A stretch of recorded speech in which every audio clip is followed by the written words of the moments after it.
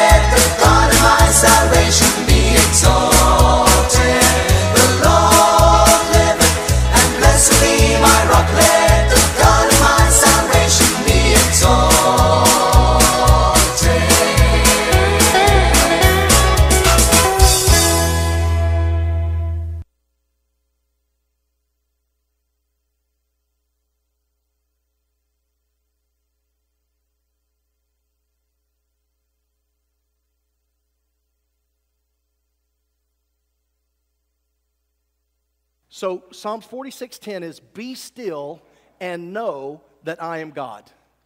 A lot of people know this verse, but a lot of people don't live this verse. Be still.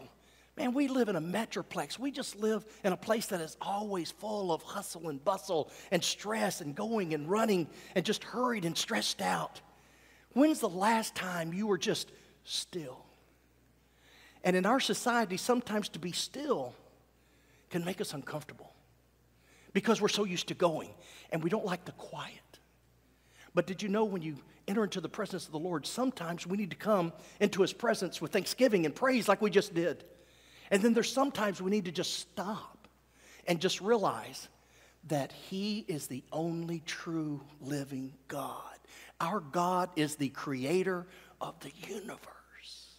This is the God that flung all of the stars into the sky and knows them by name and the sun and the moon and the earth. So just think about this for a moment. Be still this morning.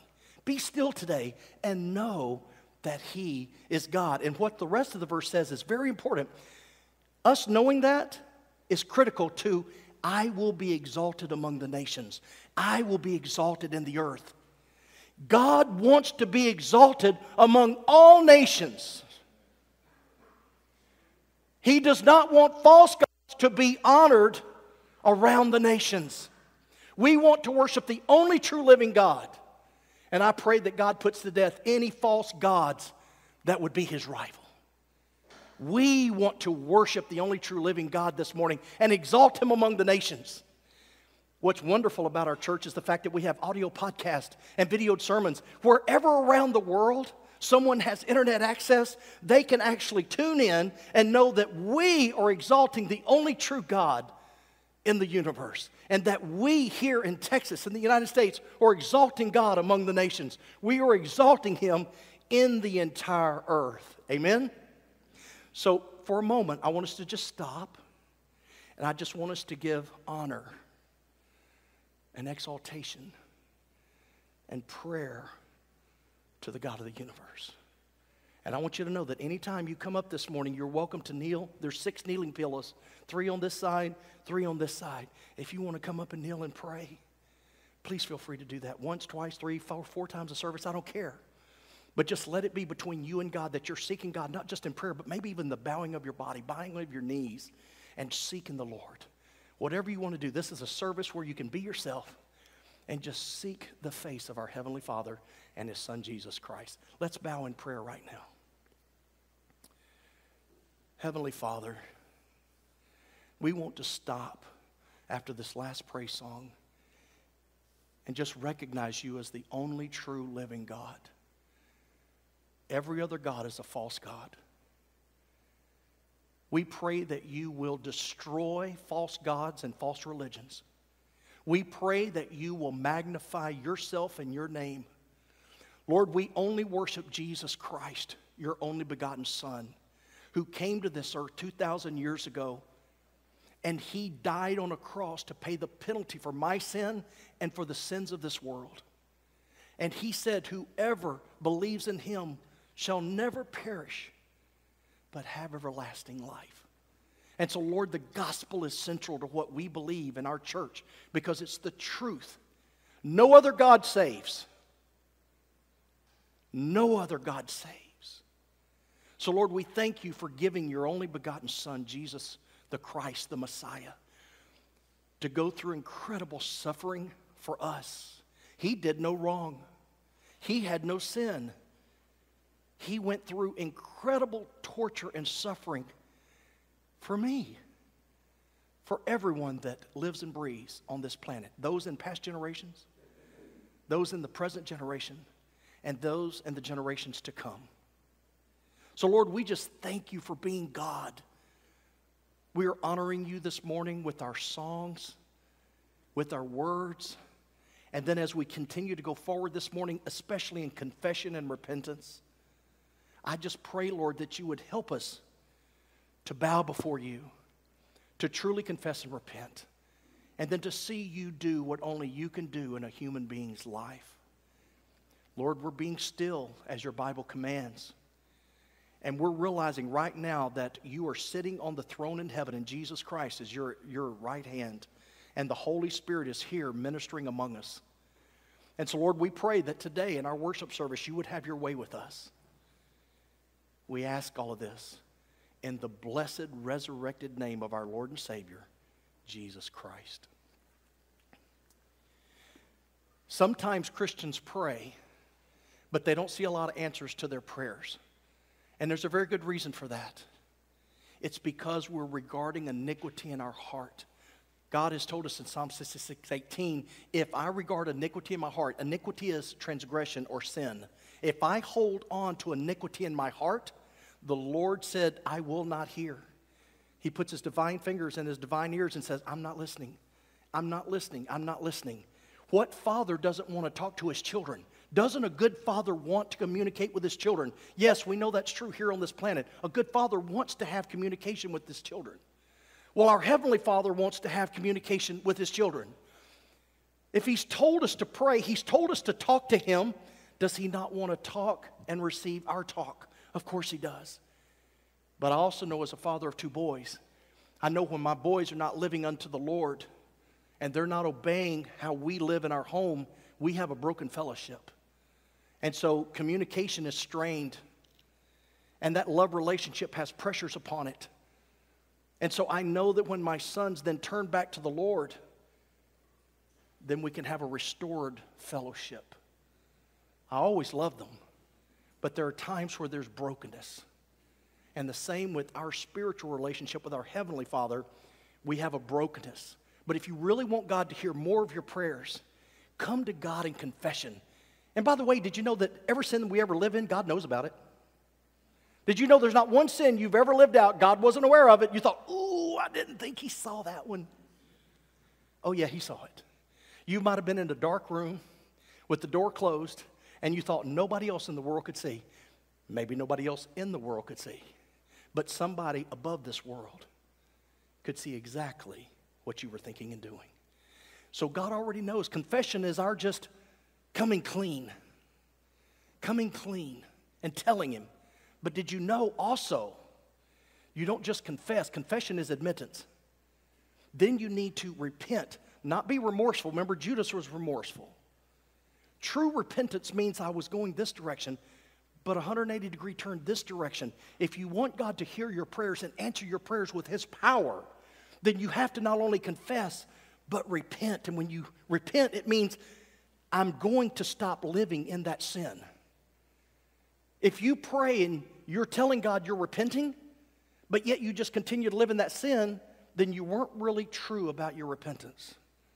Because King David told us in Psalm 18, I stop my own iniquity. I am responsible for stopping my own sin. Can you stop your sin? Of course you can. With the Lord's help, Philippians 4:13, I can do all things through Christ who strengthens me. So, we need to work on the holiness in our lives, the blameless in our lives, the integrity of our lives, the character of our lives. So, if I regard iniquity in my heart, the Lord will not hear. So, I want us to go into a time of prayer now. And you may even want to come up here and kneel. And by the way, when prayer is going on today, don't judge the person sitting next to you. I'll guarantee you have enough prayer work to do in your own life without worrying about that brother or sister's sin. If somebody comes up to kneel and go, "Oh, I wonder what's in their life," that's none of your business. It's none of my business. So when people come up here and kneel to pray, they may be a very righteous person and they're just praising God in prayer. Be careful with your judgments today. Let's be open. Let's be kind. Let's be true. And if you see somebody come up to pray, why don't you pray for them and not judge them? So let's bow in prayer right now. If you want to come, you're welcome to kneel. If you want to just pray in your seat, you can do that too. Heavenly Father, right now, I just pray that we would confess our sins to you. Lord, you've seen them. You already know. We're not hiding anything from you. Maybe we're a husband today. And maybe we're hiding our sin. Maybe our wife doesn't know that we're flirting with some lady at the office. Or maybe she doesn't know that we're on the internet on pornography. Maybe she doesn't know how I'm spending a lot of our money because I'm spending it in cash that she can't account for in the bank. Maybe it's a wife who is having a flirtatious situation at the office. Or maybe it's a wife that is on pornography. Maybe it's a wife who is spending money in a way that her husband can't trace through the bank account. Maybe it's a husband and a wife who they're wanting to get separated because they feel they can no longer live together. Maybe it's a husband and a wife who've already been separated and are about to be divorced. Maybe it's a husband and a wife who've already followed through with divorce papers. I pray, Lord, that you would heal whatever's going on in our lives. Lord, the time has ended for people to just get up and come to church on a Sunday and leave the same way they entered the doors. We came here to worship. Part of worship is confession of sin. So many people come in and sing songs that they know by heart, but they know that they're living in sexual immorality. Or maybe it's not sexual immorality at all. Maybe it's that they're robbing God. So many Christians do not even tithe to God anymore. The latest statistics, Lord, are so saddened. 97%, 97% of Christians rob God of his rightful tithes and offerings. Only 3% of born again believers tithe regularly unto their Lord. Lord, there's so much going on in our lives, and we're going to spend all morning just backing up the dump truck, the things in our lives, backing up that dump truck and just dumping it at the throne. So, Lord, I just pray that as we seek your face this morning, that you're going to show up. You tell us if we seek the Lord with all of our heart, that you will be found by us. Lord, we can't really truly seek you and do the things in Scripture and you not show up. That would be a violation of Scripture, and you never violate your word. So, Lord, we just pray today that you will do some things that change every single one of us. One of my major prayers today, Lord, is that no one goes home the same way they entered the house of God. That no one would go home today the same way they entered this house of God. So, Father, do what you've got to do. Fall upon us. I pray there's tears. I pray there's brokenness because there's no way to gain holiness without brokenness. Brokenness precedes holiness. Lord, we need a cleansing today. We need a spiritual shower. We need a spiritual bath. And so, Lord, I'm just praying that if you want people to come up here and kneel, the Holy Spirit's got to draw them out of their seats to come and kneel before you. But I do know this that when we confess our sin, when we repent of our sin, I do know that you show up. You love a broken heart. You love a confessing heart. You love your children coming to you and saying, I want to get right with you. And when we get right with you, there's that sweet, sweet fellowship that we once enjoyed. So, Lord, I pray that you'd have your way with us today. And we're going to praise you and we're going to pray to you. And we're going to praise you, and we're going to pray to you. And we're slowing down from this really hustle and bustle life in the Metroplex just to spend time with our good, good Father. In Jesus' name we pray. Amen. Let's stand and let's sing this praise song to Light of the world, you step down into.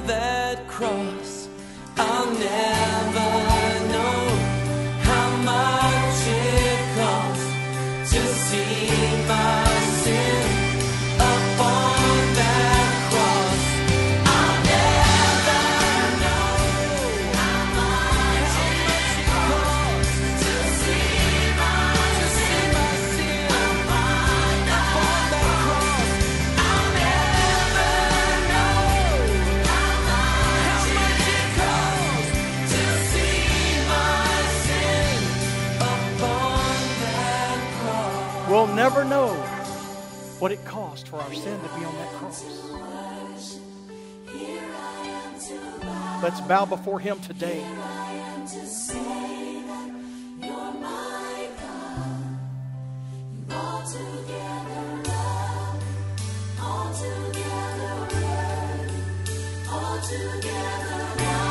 He is wonderful. Sing it to Him, church.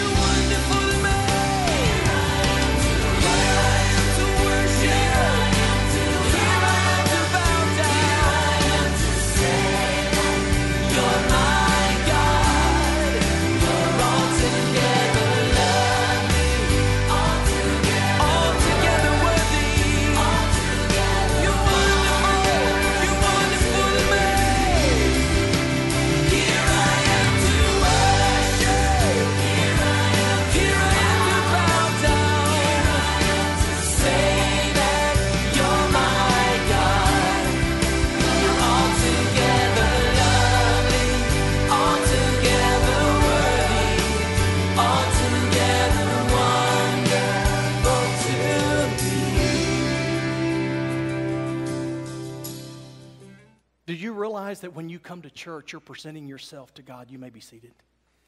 You're presenting yourself to God.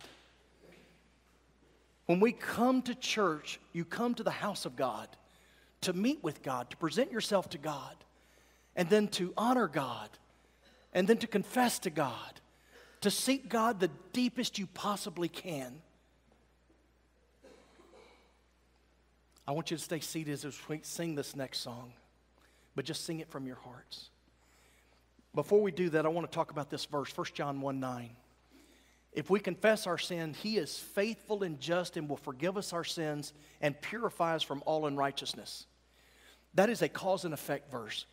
If we confess our sins, because you could not confess, you can just live your life living in your sin. But if you confess your sin, here's a cause and effect. If we confess our sins, He is faithful. It didn't say He's faithful to condemn you. I think a lot of times when we come to God, we think God hates us, or we have sinned so much God can never love us. And a lot of people struggle with that. Maybe we've lived a, such a life that God could never love me again, God could never bless me again. That's not true. The Bible says if we confess our sins, He is faithful and just because you know He's a judge. And as judge, he can forgive our sins. He can forgive anything and purifies from all unrighteousness. 1 John 1 9 is where you take a spiritual shower. I take at least one shower every day, or I try to. Don't you want to get physically clean? We get dirty, we stink, we smell. We need a bath. And you can go around somebody and you can tell when they've not had a bath. And physically they smell, there's a stench. Well, did you know that a lot of times in the presence of God we smell? We're dirty, there's a stench of our sin. But He says, Listen, I'm your Father. I've saved you by the blood of my Son Jesus. And I want you to come to me. I want you to confess. I want you to repent. I want you to come and I will be faithful to you. I will be just as a judge and I will cleanse you and purify you from all your sin. And then you and I can have sweet fellowship together. I want you to do that today. God wants you to do it more than I want you to do it. I'm just an under shepherd. He's the good shepherd. And He wants you to come to Him today. Will you do that? Let's pray. Heavenly Father, if there's any sin that's in our life today that we're refusing to give up, help us to realize that that's futile. To hold on to our sin means that we're going to miss your best. If a person has come to faith in the Lord Jesus Christ through the gospel, we are born again and we have been forgiven for the penalty of our sins. And therefore, we will not go to hell, but we would go to heaven instead. But there's times where Christians have a hardened heart and we hold on to our sin and we love our sin and we don't want to turn from our sin and therefore we won't confess it and we won't repent of it. And so, Lord, then we don't get your cleansing. And so, millions of Christians often live unconfessed, unrepentant sin on a daily basis. And Lord, that affects their personal life. If they're married, it affects their marriage. If they have kids, it affects their kids, each one of them. If they go to a local church, it affects the body of Christ. If they go to work, it affects their coworkers. A Christian with unconfessed, unrepentant sin in their lives that have not been forgiven are really damaging in so many ways they just don't understand. And they're forfeiting that sweet, sweet fellowship that comes from being cleansed and purified from all unrighteousness. Lord, 1 John 1 9 is a deep well. Your well of mercy and grace and forgiveness is never ending. We can never go down too much and pull out too much and say, oh no, oh no, I have drawn all of the mercy and grace and forgiveness out of the well of 1 John 1 9. No, no, that will never happen. So, Lord, whatever sin we're holding on to, I pray that you would cause us to confess it today, to repent of it, and that we will go home cleansed and purified from all of our unrighteousness. God loves us so much that He has a reckless love. You know what reckless means? It's an abandoned love. He just pours out His love on you like fudge on a brownie. It just runs all down the side. God's reckless love is what He wants to pour out on you today. Sit there and sing these songs to your Savior today. Before I spoke a word, you were singing over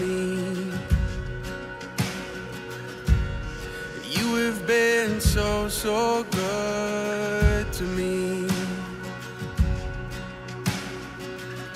Before I took a breath, you breathed your life in me. And you have been so, so kind. No one has ever been as kind to you as Almighty God.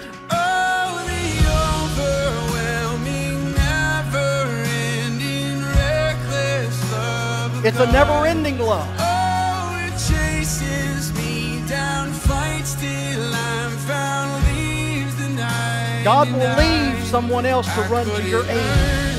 And I don't deserve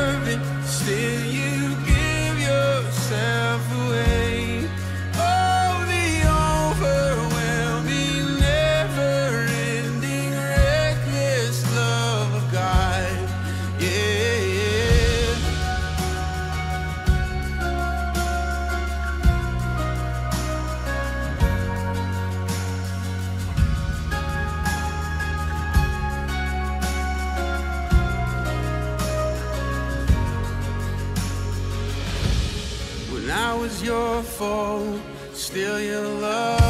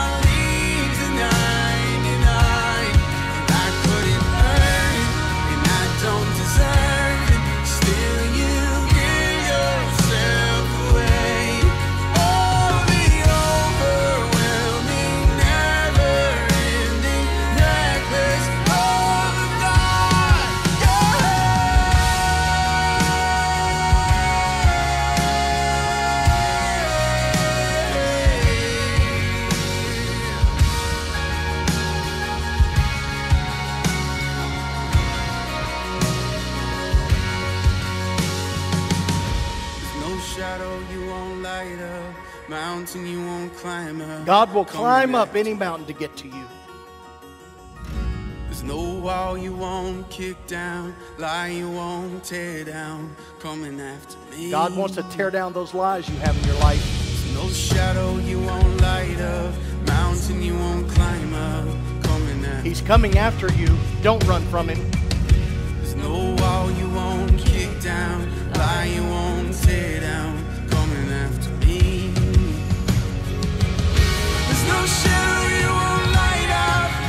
mountain you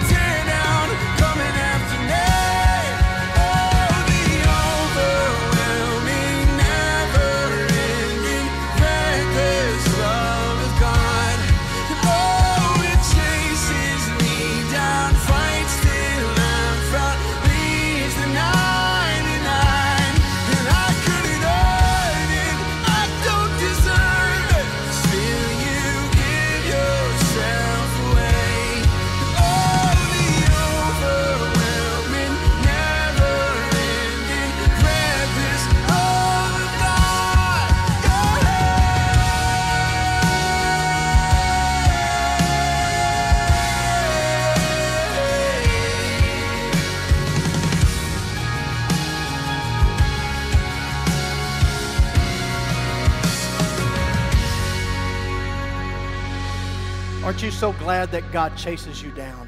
I'm reminded of the story about Jonah. He ran from God. We're talking about a prophet now. We're talking about a holy man who turned his back on the will of God. God was trying to save a people, but he didn't like those people. He was prejudiced and racist. And there's a lot of Christians in our day that still have racism and judgmentalism and prejudiceness in their hearts. Well, Jonah ran from God, but God chased him down. He bought a ticket on a ship and was headed the opposite direction of God's will. But God said, I see where you're going. He caught him out there and liked to drown everybody, including the sailors on the ship, because he loved Jonah that much. And because he loved those sailors that much. But there's nowhere you can go, there's nowhere you can hide that God doesn't see you and come after you. Isn't that a great God? Maybe you grew up in a home where you didn't sense love from your mom and dad. And maybe you went your own way and they didn't care and they said, Don't let the door hit you in the. And they didn't care. That's not our God. He's going to chase you down to the day you die. And it's to bless you, it's to hold you, it's to love you. He leaves the 99 to go after one. That doesn't make sense, does it? Why would you leave almost 100 people to go chase after one person? That's what God does. He says, I want all 100 here not just 99, there's one missing. Our church should follow the Lord's suit and say, Who's that one missing from our flock? Let's go get him. Because Jesus wants to go get them. Let's go get them. And let's bring them back to the flock. There's only three types of people in the world there's the lost person who doesn't even know God and doesn't worship God. Then you've got the saved person who knows God and they worship God deeply. Then you got the person in the middle who is saved but not walking with God any longer and they're away from God and they're away from His people, that's miserableness. That's miserableness. To know God and to not walk closely with Him. To know God and have broken fellowship, that's worse than being lost.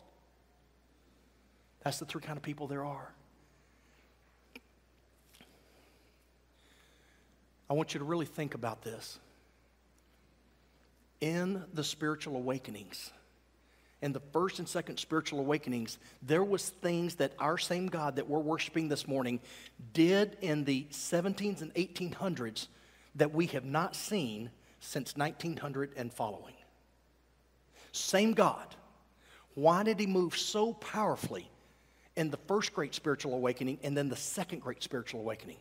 All of the conservative scholars that I've ever heard of will say it's prayer. It is prayer. But what I've been studying recently, especially as I've been praying and fasting in the last week, is that I've been studying some of the men that prayed to God and they saw God do things that nobody in our generation has seen. And I'm finding out they prayed in a way that I've never prayed. As a pastor, I've never prayed the way I've seen some of these people that were in the 1700s and 1800s pray. One of the little phrases has still just ravished my mind, and I can't get my mind away from it.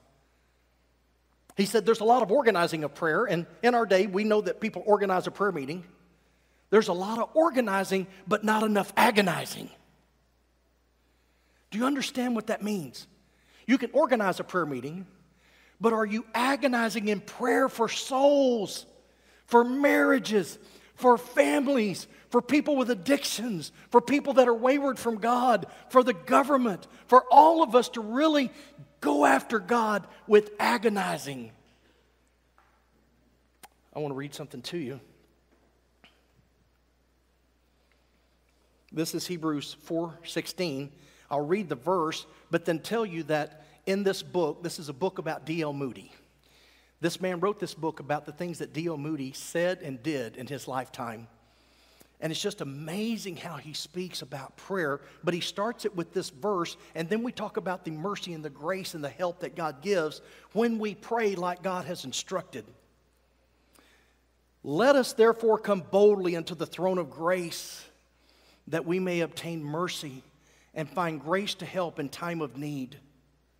These words make it very plain that God has appointed a way by which we shall seek and obtain mercy and grace.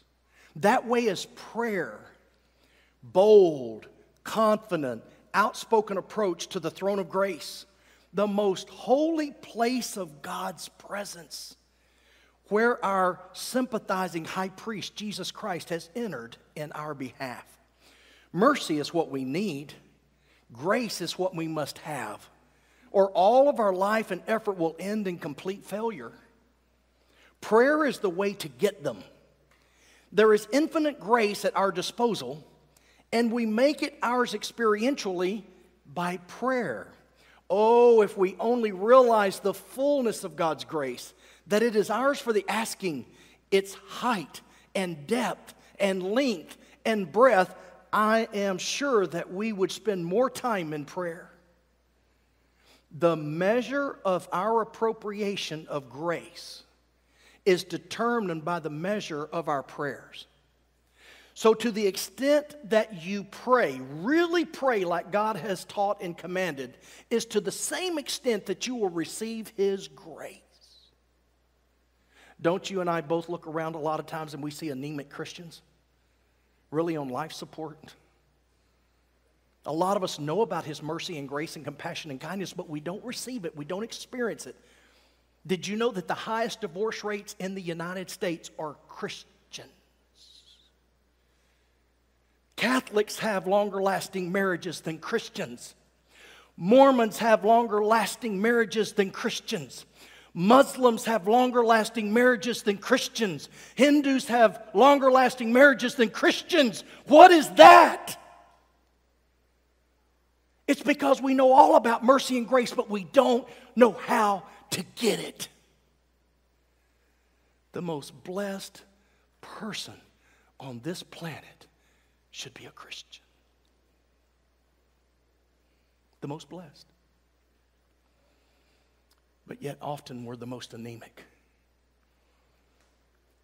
Who is there that does not feel that he needs more grace? Don't you feel like you need more grace? I need more grace. Raise your hand if you need more grace. Okay, we're all agreed. We all need more grace. Then ask for it. Be constant and persistent in your asking. Be importunate and in untiring in your asking.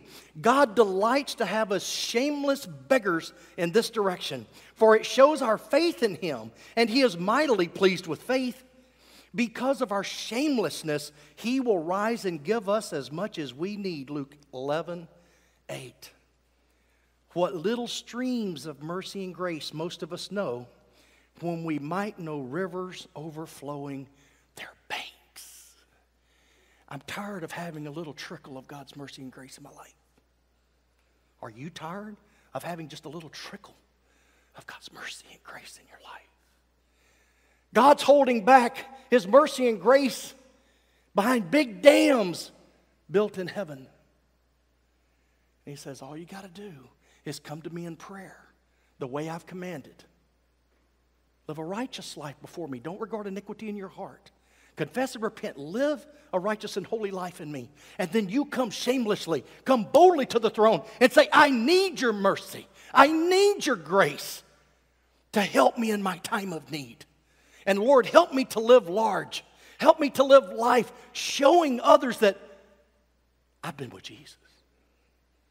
I've been with Jesus. Most people that look around and see a Christian on a Monday through Friday, they can't even tell you've been to church, much less been with Jesus. Did you know that you can come to church and not be with Jesus at all? Is that not true? You can come to church, but just because you come to church doesn't mean that you worshiped. How can millions and millions of believers in our country worship each week the risen Savior, and we're not bearing any more fruit than we're bearing. How is that possible? I'm going to make a statement to you, and you can disagree with it all you want. But I hope the, the more you ponder it, the more you'll say, that's true. That's true. Our world is where it is today because of Christians not living their born again life in Christ. When Christians glorify Jesus, I've got verses to back it up. John 15. If you abide in me and I abide in you, you will bear much fruit. Much. What if every Christian in the United States was bearing much fruit to the glory of our Heavenly Father. We got enough Christians for the United States to look like a heavenly kingdom. Is that not true? But he said, if you don't remain in me, if you don't abide in me, you can do nothing.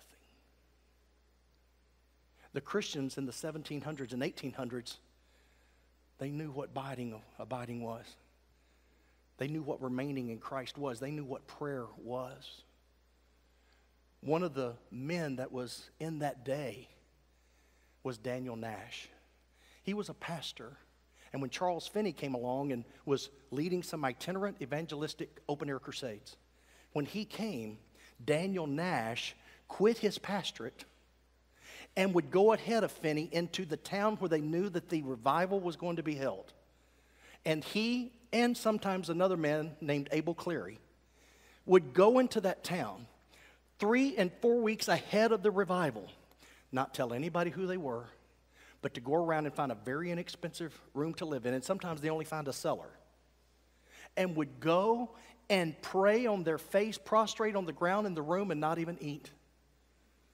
And just occasionally, just to keep their lives going for three and four weeks at a time.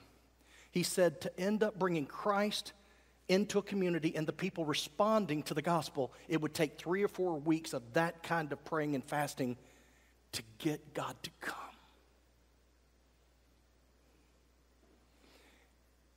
He talks about gentle praying, pleasant praying is not how you touch the heart of God. Think about how Daniel prayed in the lion's den.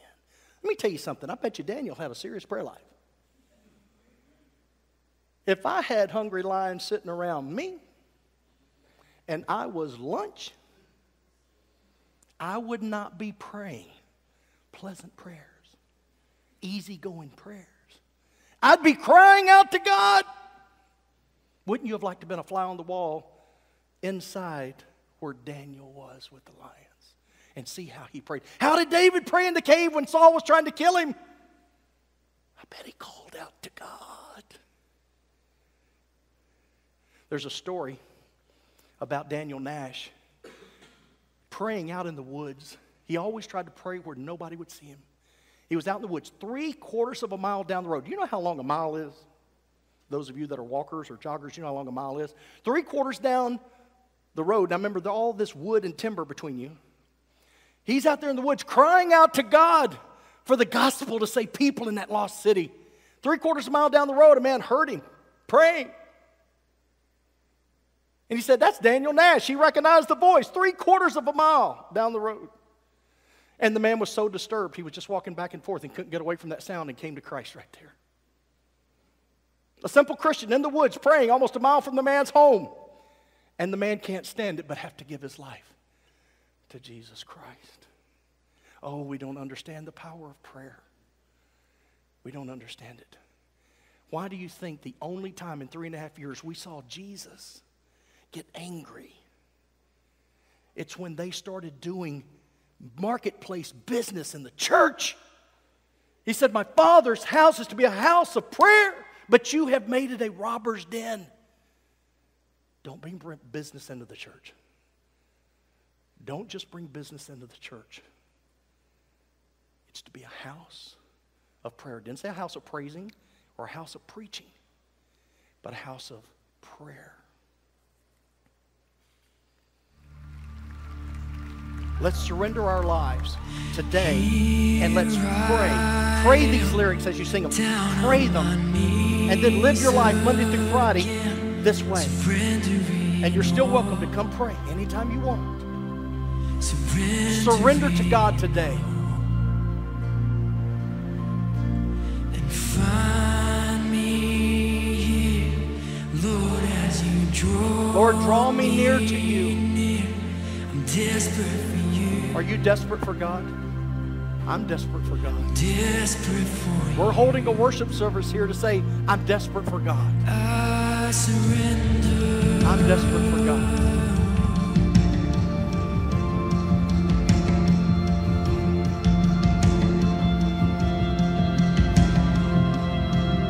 Desperation is a good thing because it will draw you to your Savior.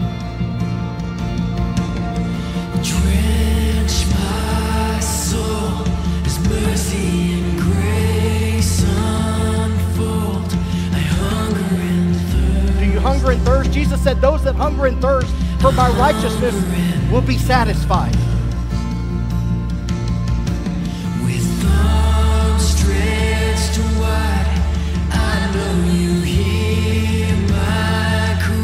Speak to me now.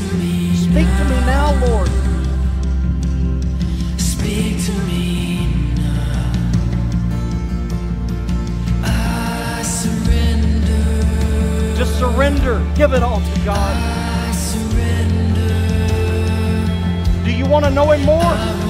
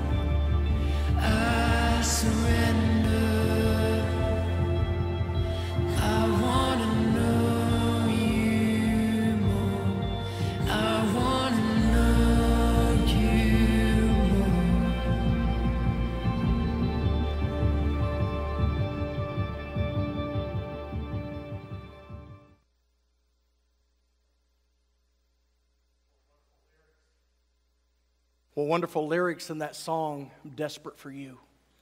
I'm desperate for you. You know, I wonder if sometimes we get our desperation headed in the wrong channels. Uh, we're desperate for a job. We're desperate for more money. We're desperate for more pleasure. We're desperate for more entertainment. We're desperate for this, desperate for that.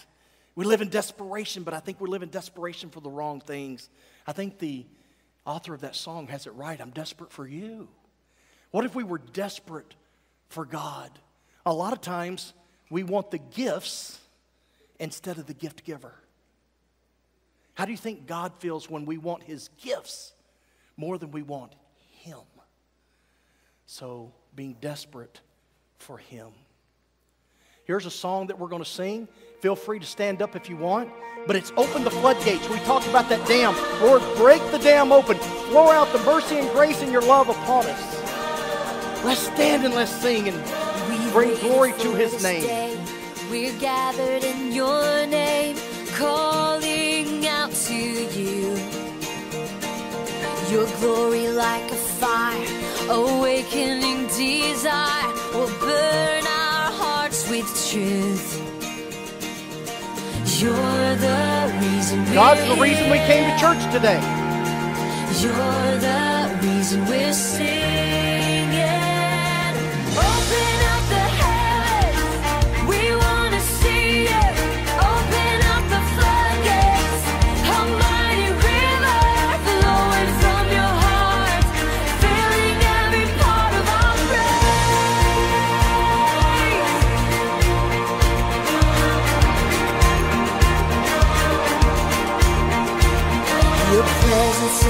Place, your glory on our face. We're looking to the sky, descending like a cloud.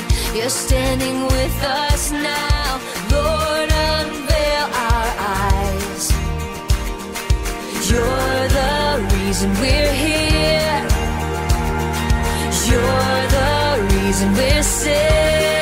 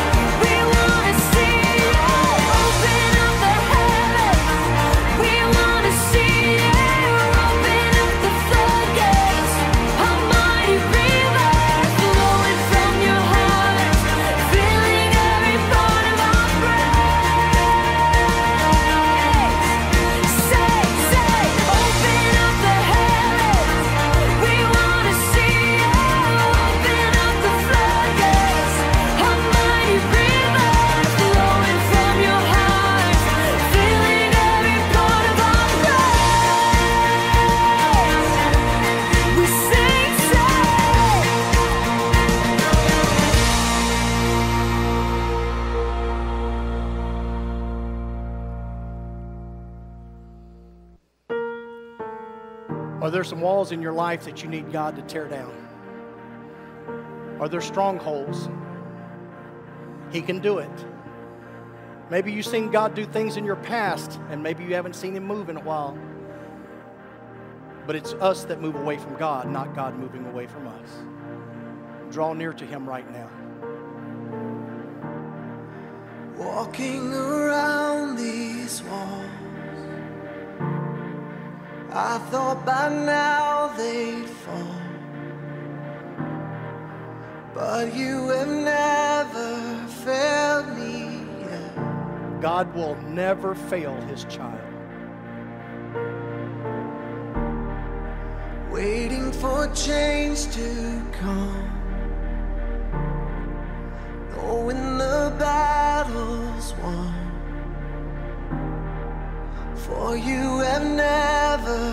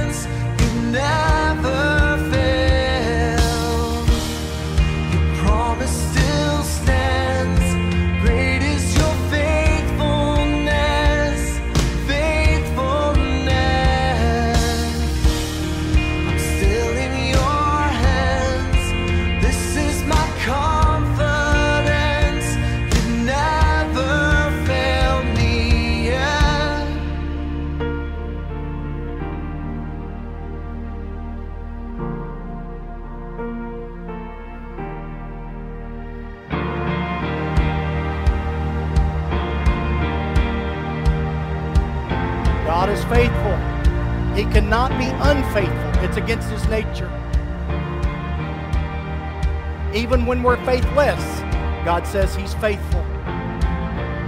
What do you need to do in order to grow in faithfulness? Pray and praise His holy name.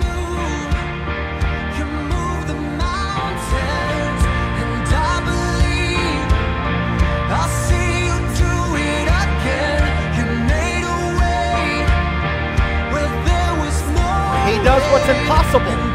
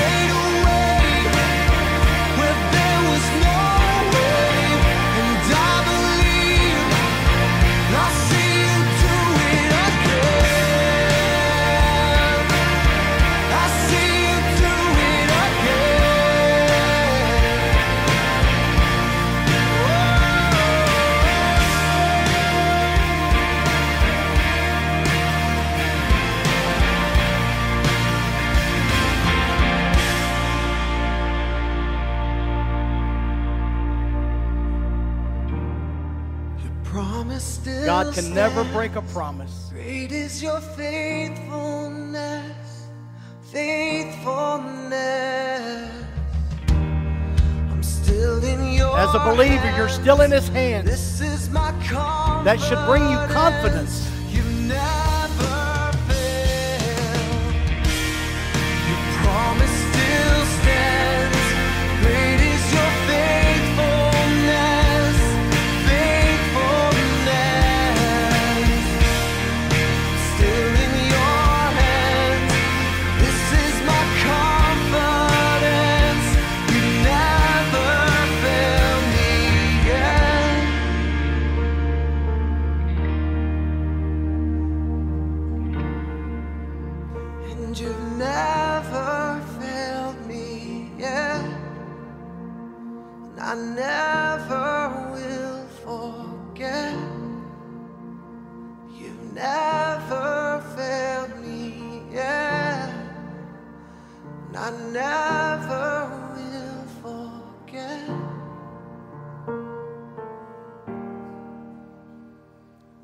Worst things that can happen to a believer is that we forget the promises of God.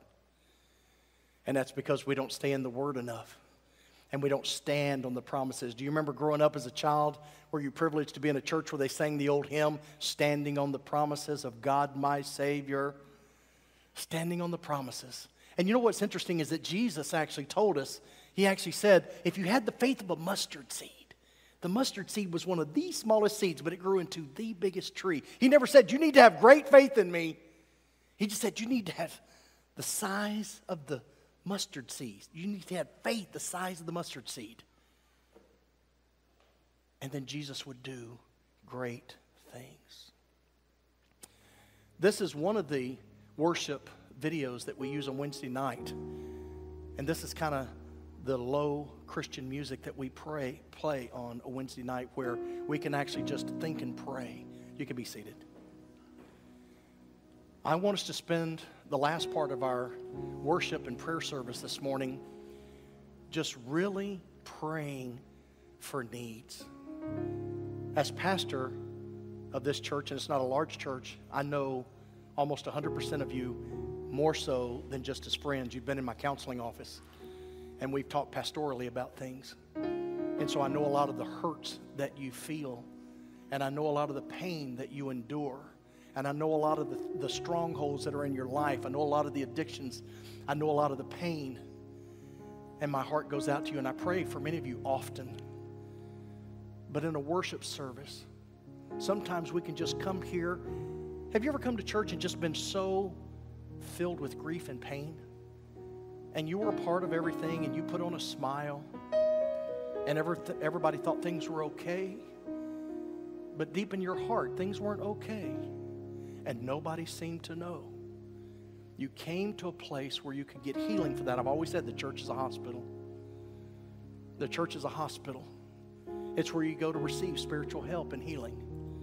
Course, God gives us emotional healing, mental healing, psychological healing, financial healing, marital healing, spiritual healing. He, he's, he's the healer, He's the great physician.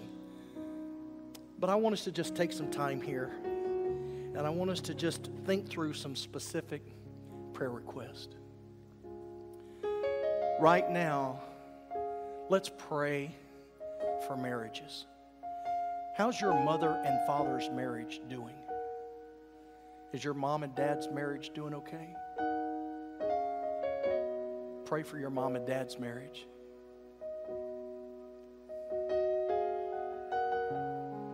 You know, no youth minister I ever had when I grew up told me as a youth, you need to pray for your mom and dad's marriage, that life is hard. I think youth ministers ought to teach their children that pray for your mom and dad. Sometimes the mom is not saved, and sometimes she is. Sometimes the dad's saved, sometimes he isn't. But there's marital strife in many homes, and you'd be surprised how many kids that come to youth group and they're coming from terribly broken homes. So we need to teach our children to pray for your mom and dad. Pray for your parents. And you might be 30, 40, 50 years old, and maybe your parents are in their 70s, 80s, or 90s. They still need prayer. So, no matter how old your parents are, I pray that right now, if they're still married, I pray that you would pray for their marriage, for God to come and move in power.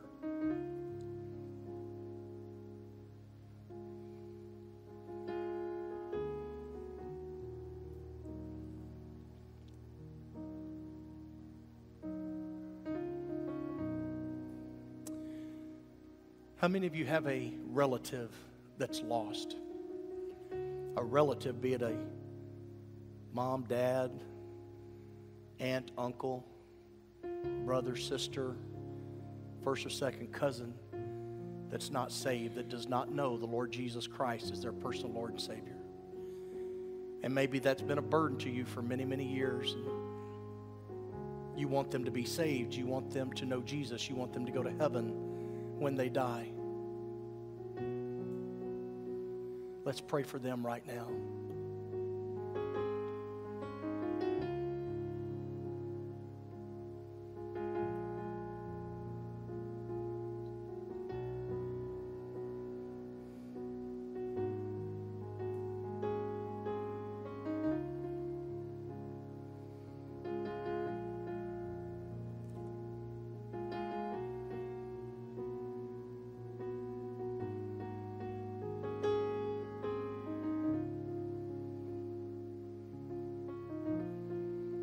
How many of you would like to have more of a Christian impact at your workplace? That you really want your Christian life to stand out, but maybe you have always been told the two things that everybody's been told never bring up politics or religion in the workplace. Well, I'm here to blow that theory out of the water. I think everywhere you work, I don't care where you work, I think you need to be bringing up Jesus Christ when you can. I think you need to bring up the gospel when you can you may have to be very shrewd in how you do it. Remember, we're to be as wise as a serpent, but innocent as a dove. Be wise about how you bring up Jesus at your workplace. And let me ask you this if you really did pray about it, and you really were being shrewd in the way you brought up Jesus at your office, and let's just say word got back to your boss and they told you, and you got fired. Did you know that is an awesome way to leave your company? To have shared Jesus with people. Your spouse or your children might be upset with you, but Jesus would say, Well done, thou good and faithful servant. And would he not give you another job? Of course he would. Most of us get fired from a job for the wrong reasons. I think it'd be awesome if we got fired for a heavenly reason. How many of your coworkers need Jesus? Instead of just being angry at them and pointing fingers at them and just, you can't wait to get out of the office. Did you know that you're not just at your office for a paycheck? I know a lot of us think it is, but we're not just at our offices for a paycheck. That's money. That's just money. God said that you need to choose your God. You can't serve two gods. So serve God alone in the heavens, and He will provide the money you need to live. But if God has given you a place of business, it's because there are people there that need Jesus Christ. Is the Holy Spirit right now bringing to your mind a coworker? Maybe a boss? Maybe a supervisor? Maybe a department head. They need you. Oh, they don't need you to complain about them and judge them, they need you to pray for them. Christians love their enemies. At least we're supposed to. Maybe you're retired. Maybe you're not in the workforce anymore. Maybe the Holy Spirit's bringing back somebody that you used to think about and pray for, but since you've retired, they don't cross your mind much anymore. But maybe you don't know what's happened to them. Maybe you would offer up another prayer for them right now.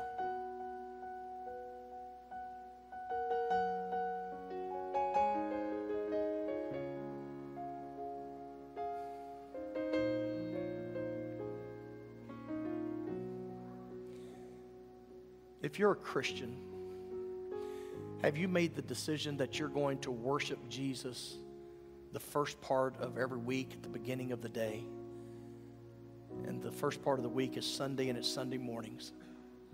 Before you get ready to go to work the rest of the week, have you put your worship over your work? And saying, There's no greater thing I can do on a Sunday morning, not golf, not fishing, not shopping, not sleeping in, but getting up and worshiping the Lord Jesus Christ. And if I put Jesus first at the beginning of my week, how do you think my week will go? But if you don't put Jesus first at the beginning of your week, I think we know how your week will go.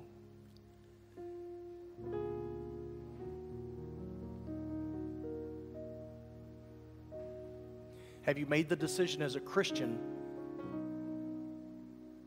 that I'm going to be in worship? I'm not going to be lackadaisical. I'm not going to sleep in. I'm going to talk to my supervisor and say, I need off. We have a member of our church who recently went to his employer and it was a new job, and he said, Look, I really want to work here, but I refuse to work on Wednesdays and Sundays. Not doing it. I'm a Christian and I need to worship.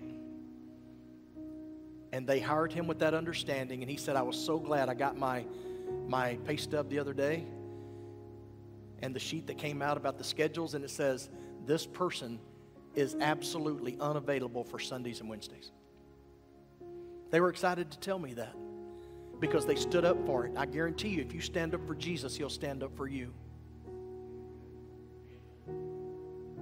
So let's don't let the bosses run our lives.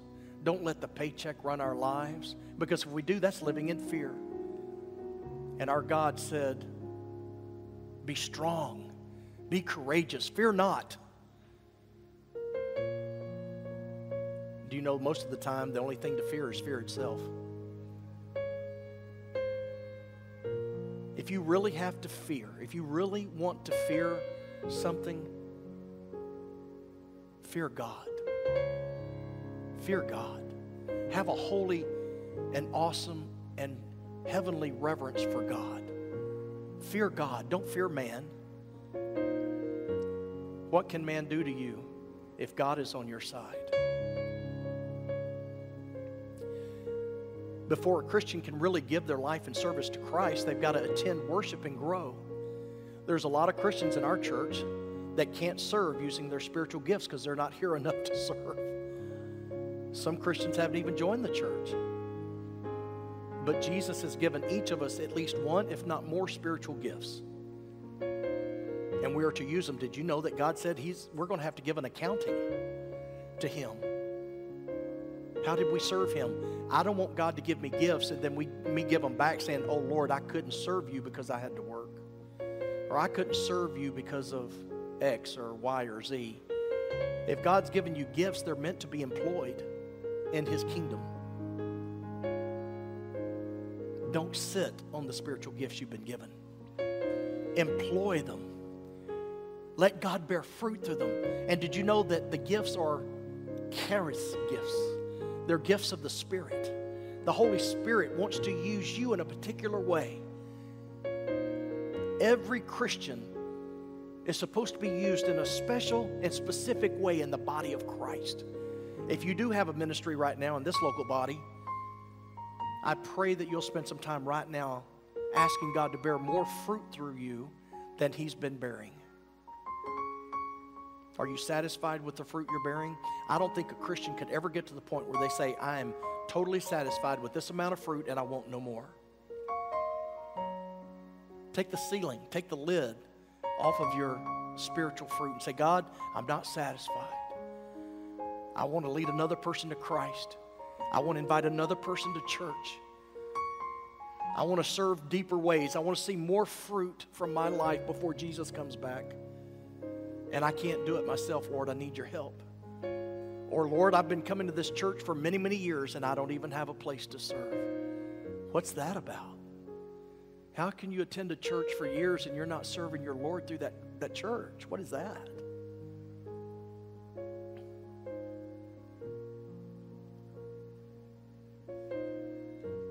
Remember, we made a statement earlier in the worship service that our world is largely where it is today because of where Christians are in their spiritual walks today.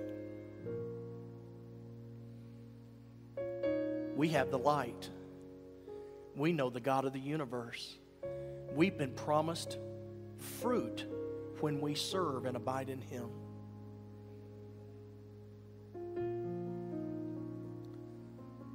God moved us to this new, location almost a year ago, just a little over a year ago. We are so blessed to be right in between an AA group and a bar. And I want to tell you, I love both of these groups tremendously. I have made so many new friendships with people that go into the AA group each week. I love those people. I'm getting to where I know them by name and I pray for them. And I hope one day our church is filled with people that have been going to that AA group, but they want more of a spiritual depth in their life. They want to draw closer to the real God of the universe and they want healing. Healing, permanent healing from their addiction. And also the people at the bar. Did you know back in that first and second Great Awakening, did you know that all of the bars where the revival was happening, all of the bars closed down? And they went to church. You may sit there and go, well, Pastor, that was in the 1700s, that was in the 1800s, that, that's not going to happen today. Really? Really? So our God has become impotent in the 21st century? Our God has gotten old and lost some of his heavenly power? Jesus Christ is the same yesterday, today, and forever. God doesn't age. God doesn't get wrinkles. God doesn't get bent over and need a cane. God doesn't need a wheelchair. God is not on life support. Our God is alive. And He does the impossible things. I think it's a bold and audacious statement that Jesus makes in the Gospels where He says, Nothing is impossible for God. You know, if you're going to make a statement like that, you better have the power to back it up. Talk is cheap. Amen? If you're going to make a statement like that, you better be able to back it up. Well, what God has said in the past, in the Old Testament and the New, we have seen many things that God has said, and He has already fulfilled. And the things that are yet to be fulfilled will be. Are there some impossible areas in your life right now that you're like, I don't think this is ever going to change? Or is there some family member where there's something in your life that you're thinking this is never going to change? Be careful with that thought. Thoughts lead to actions. And before you know it, you're not living a life of faith anymore. You're living a, faith, a life of sight. And to live your life by sight, Jesus calls sin.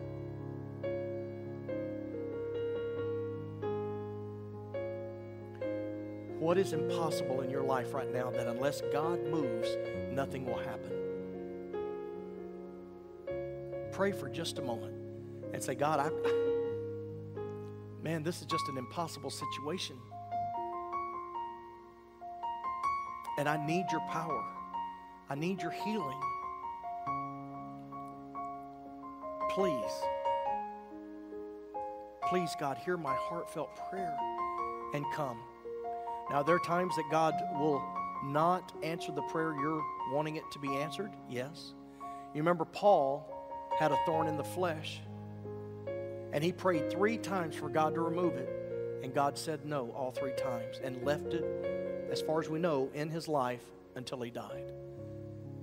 But the thorn in the flesh was left there, and scholars don't know what that thorn was. Left it there, he said, But my grace is sufficient for you. God will either do the impossible in your life, or He will leave the problem there and give you His grace, which is enough to sustain you through it. One or the other. He's going to do one or the other, but you can live in victory either way. Not defeated.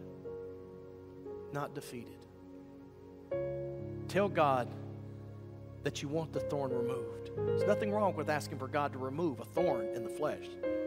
And whatever it was, must have been painful because Paul wanted it gone. And he didn't just pray once, and he didn't just pray twice, but he prayed a third time. He heard no the first two times, but he's saying, I got to keep asking. And then God made it clear no, Paul, I'm not removing it. I put it there. And you know what the scriptures say was one of the reasons? Because he had such surpassing revelations of what he was being shown by the Holy Spirit in the heavenly realm that most men would have become very prideful. It was there to buffet him, it was there to keep him humble. So, really, the thorn in the flesh, it turns out, was a protection. A protection from pride slipping in and ruining his deep spiritual walk. So just know that if God's brought something into your life he's refusing to remove, it may be a blessing. Start looking at your thorns in the flesh as blessings. What if he's trying to protect you from something? You want him to remove that and you don't get the protection? Just know God knows you inside and out better than you know yourself. And he can see way down the road. Only you and I can see today. I don't know if I will be in a car wreck at 1:51 p.m. on Thursday afternoon. God knows everything about what's going to happen to me this week. And he loves me deeply, and he's walking with me as each day arrives. What's my responsibility? What's your responsibility? Is that God has set himself here as the standard. We are to leave our sinfulness and selfishness, and we're to walk this journey back to him. Remember, God never moves. We are to draw near to him. The Bible says in John, James chapter 1 if you draw near to God, he will draw near to you. Do you want God to draw near to you? You know what he said? I'll never leave you or forsake you. If there's ever any leaving of God in your Christian walk, it's you left him. God never leaves you. You have to take responsibility and say, I stepped away from you. I stepped away into my sin. I stepped away into pride or selfishness or whatever the sin was, but you can always come home. Do you need to come home today? I hope in this worship and prayer service you have come home. And I hope you have sensed the Holy Spirit in your life in maybe a way you haven't in months, maybe years. But then, this final plea I would make to you if there's anyone, either here in this congregation or by audio podcast or by videoed sermon, that can't say, I know Jesus Christ personally, then I'm going to share the gospel, and this is your opportunity to believe in Him and receive eternal life. You would never die and go to hell, but you would go to heaven when you die. Jesus, the very Son of God, the second member of the Trinity, stepped out of heaven 2,000 years ago, came down here, and was born of the Virgin Mary. As a little baby, he grew into a man, and he died on the cross to pay the penalty for mine and your sin which meant your sin and the penalty of that meant that you would go to hell when you died. That's your payment for your sin. That's the wage you earned. For all have sinned and fall short of the glory of God. And your natural destination from a baby to your death date was to go to hell and spend eternity there. But Jesus did not want you to go there. Jesus said, I will come and take your place. I will be a substitute that's what we call the substitutionary atonement. He came and substituted himself in your place, died, taking your sin and my sin upon him at the cross. And the last three words are the most beautiful words Jesus ever spoke It is finished. It is finished. He died and paid for the penalty of mine and your sin. And they took him down from that cross and they buried him in a tomb. He was there three days, dead. But he came to life on the third morning, early Sunday morning. That's why we call every Sunday Resurrection Sunday morning. And that's why you want to be in church worshiping because on every Sunday morning, we really are reflecting on it being a Resurrection Sunday morning. He came to life. Over 500 people saw him, the book of Corinthians says. And then his final few disciples saw him in an upper room that was locked. And then some more disciples saw him actually ascend back into the heavens.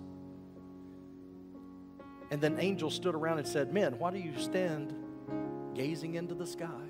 This same Jesus will come again one day just as you've seen him leave. And that's what we're waiting upon now is Jesus' final return. Jesus died on the cross, according to the scriptures, was buried for three days and resurrected from the dead. That is the gospel. Do you want to put your faith and trust in the gospel? You can today. If you're here and you've never done that, you can pray silently with me as we all bow right now. Pray for those in the room that may not know Jesus, or those by podcast, or those by video sermon. Heavenly Father, I'm a sinner. And I know that the penalty of my sin means death, but I've heard today that you died on the cross for my sins, and that Jesus was dead for three days and rose again on the third day, and he's alive, and that he took my place for me. He substituted himself. And I believe that. I believe that with all my heart, and I place my faith and trust in Jesus Christ as my Savior. I'm not going to try to do good works anymore just to get to heaven. I'm not going to try harder. I'm just going to rest in the fact that the gospel is for me. And Lord, I know your word says, whoever calls upon the name of the Lord will be saved. And so, Lord, I'm the whoever. And I'm asking you to save my soul today. Thank you, Jesus, for saving my soul. In your name I pray. Amen. We're hoping to have more of these worship and prayer services. Not every Sunday, because there's still a lot of the exhortation of the Word of God, proclaiming and preaching of God's Word that must go forth. But from time to time, it may be healthy, spiritually healthy, for us to just pull back and not just herald the exhortation of God's Word, but just to pull back and to praise and pray, praise and pray, praise and pray. And I'm so glad you felt free to come and go with the bowing and kneeling before Christ today. I hope that when we do this again, you feel just as free. And I hope you go home today victorious. Victorious, not defeated.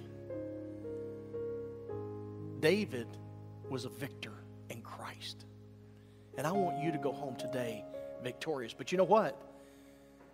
There's spiritual warfare out there. And you know, sometimes we're already defeated by Sunday night or Monday morning. Have you already been defeated sometimes?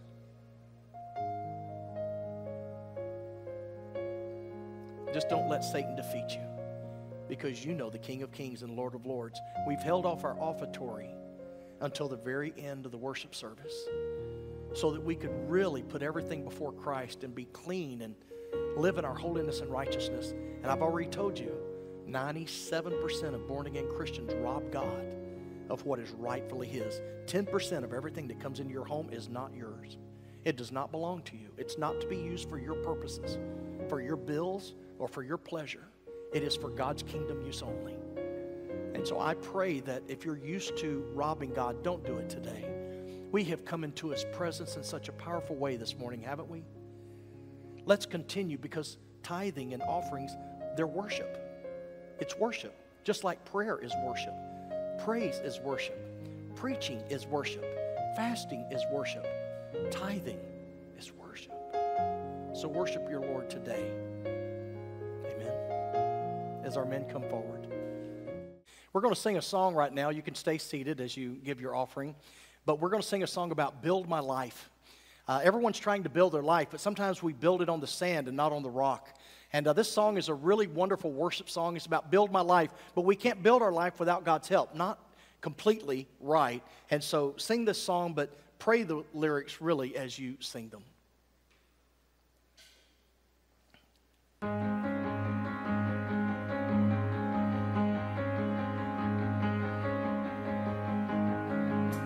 Worthy of every song we could ever sing. Worthy of all the praise we could ever bring. Worthy of every breath we could ever breathe. We live for you. Oh, we live for you.